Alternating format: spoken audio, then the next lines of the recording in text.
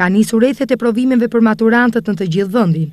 Data njëzet e tre maj do t'i gjejë këta nxënës të ulur në bankat e shkollave, për të shpalosur dijet e tyre për atë çfarë kanë mësuar për tre vite në shkollë të mesme në lëndën e anglishtes.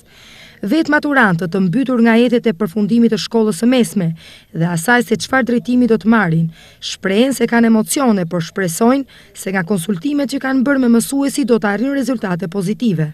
Jam jashtëzakonisht shumë e emocionuar, normalisht janë 4-5 provime për, për t'i dalë përpara dhe nuk e di, përgatitjet i kemi bërë gjatë gjithë vitit, por mendoj që, mendoj që do dalim goxha mirë, mendoj.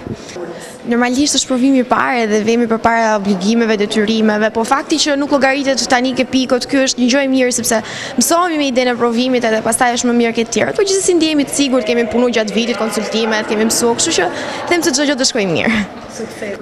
Deri më tani ne kemi bërë konsultat, pavarësisht mësimit që bëjmë domethënë të plotë, besoj se mirë do dalim dhe është E presim mirë, duke ditur që edhe vite më, dhe vjet është bërë po i njëjti provim edhe këtë vit po bëhet po e njëjta gjë.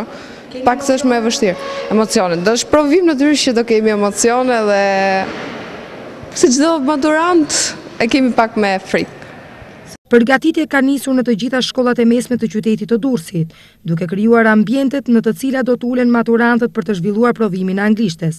Ndryshe nga vitet e tjera, këtë vit stafi që do të vëzhgojë ecurinë e provimeve nuk do t'i përkasë shkollës ku punon dhe jep mësim.